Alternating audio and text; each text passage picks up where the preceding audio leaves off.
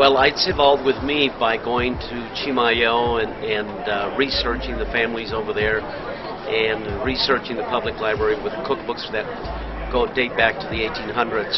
And then I got these recipes and I took them to the families in northern New Mexico, in, in uh, Chimayo, and I experimented with them and they showed me their techniques of how they do the northern New Mexican food or Chimayo food.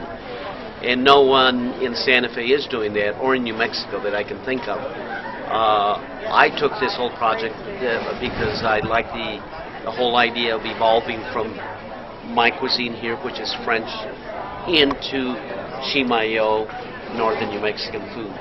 And it was a, a very interesting uh, project for me. And still it is because it's just be evolving. I just opened.